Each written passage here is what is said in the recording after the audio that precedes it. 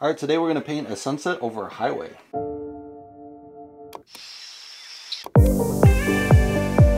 All right, the question of the day is, who is Paul Cezanne?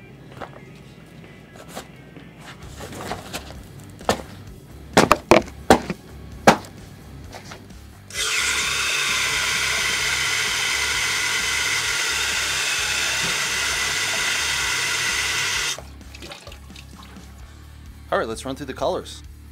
Mars Black, Titanium White, Phthalo Green, Ultramarine Blue, Quin Blue, Van Dyke Brown, Pyrrole Red Dark, Quin Red, Burnt Sienna, Cad Yellow, Primary Yellow.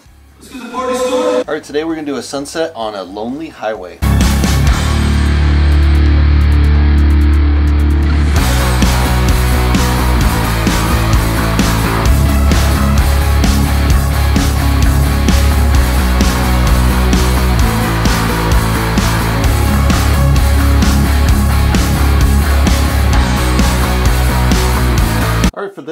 We've done is we kind of laid in that really bright uh, sunset, bright red. Um, it's gone into some purple, so we probably have to kind of clarify that a little bit in the next layer, make that a little bit more different, add the yellows into the highlights where the sun is, kind of make this kind of come together. I think this is pretty good mix right now, but we'll see once we have to fill in the little white poking through.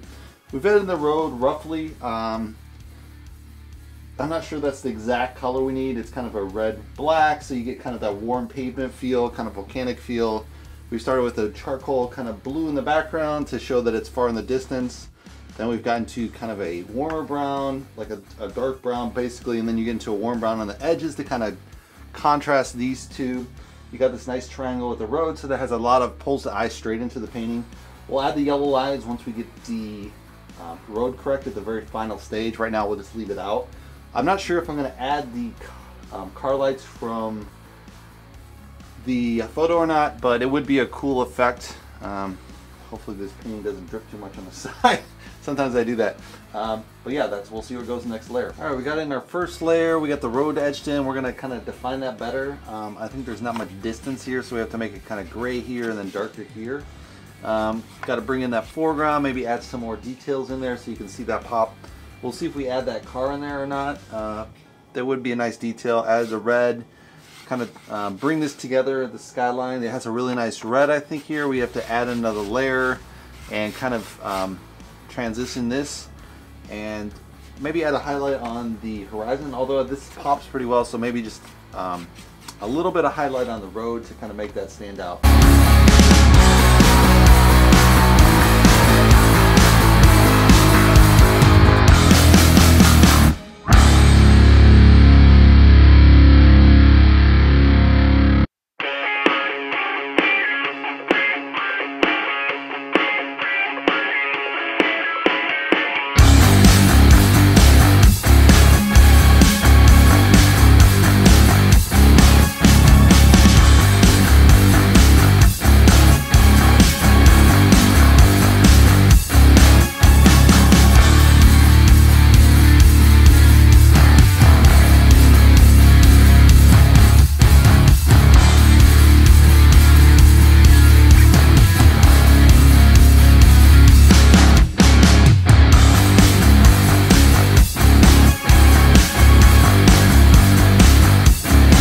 So Paul Cezanne is one of the fathers of post-impressionism and he worked um, in Paris and he had a wealthy father so um, they kind of had you know discussions. He was supposed to be I think a lawyer or a banker and then he decided to become an artist on the advice of Zola.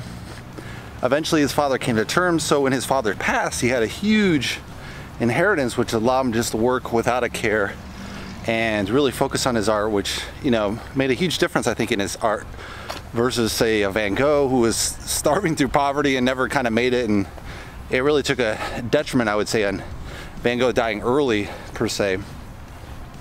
And like Van Gogh Cezanne lived in the south of France to paint his later post-impressionist work. And it's known for kind of this geometric um, distillation of the painting into just colors and kind of geometric shapes still very recognizable realist in a way but definitely set apart from the current um, traditional painting of the time. and later kind of laid the groundwork for expressionism, cubism.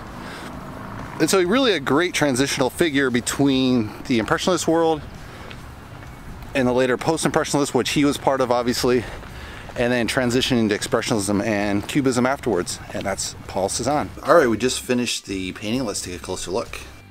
So here we have this really nice purpley kind of sky with a little bit dark blue at the top. Um, I've mixed in a little bit of those kind of gray clouds to show those highlights popping through with the yellow horizon with where the sun would be and the highlights from that.